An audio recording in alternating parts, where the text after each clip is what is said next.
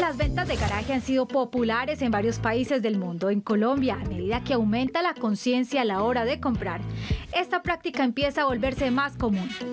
Normalmente una venta de garaje se hace cuando se han acumulado varias cosas que ya no se usan, se planea un viaje largo o simplemente es hora de dejar ir. La industria es una moda altamente contaminante, entonces si nosotros somos un poquito responsables a la hora de consumir y luego a la hora de ver cómo eh, le damos un segundo uso o una vida más larga a esos objetos, entonces estamos contribuyendo con el medio ambiente y con el planeta.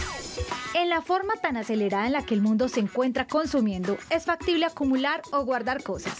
En estas ventas se puede no solo ganar un dinero extra, sino también ofrecerle la posibilidad a otra persona de acceder a esos objetos o prendas que podrían ser muy costosas si se compran nuevas. Entonces es un tema eh, donde no solamente estamos siendo conscientes a la hora de consumir, sino también conscientes y responsables a la hora de comprar. En estas prácticas es importante tener en cuenta que son objetos de segunda y la ropa, a diferencia de otros bienes, no se cotiza con el tiempo, sino por el contrario pierde valor. Sin embargo, para una persona que valora la moda, logra siempre la manera de adaptarla a su estilo. Entonces no es solamente eh, pensar en que le podemos dar esa segunda vida a la hora en la que vamos al closet y nos encontramos invadidos, acumuladores llenos de piezas que ni utilizamos, prendas que no nos ponemos hace uno o dos años, mm, sino también al momento de comprar. Tú definir muy bien qué necesitas, para qué lo necesitas, a qué le vas a sacar, como decimos, hasta el IVA y qué otras piezas simplemente las vas a utilizar y luego las vas a llevar a un lugar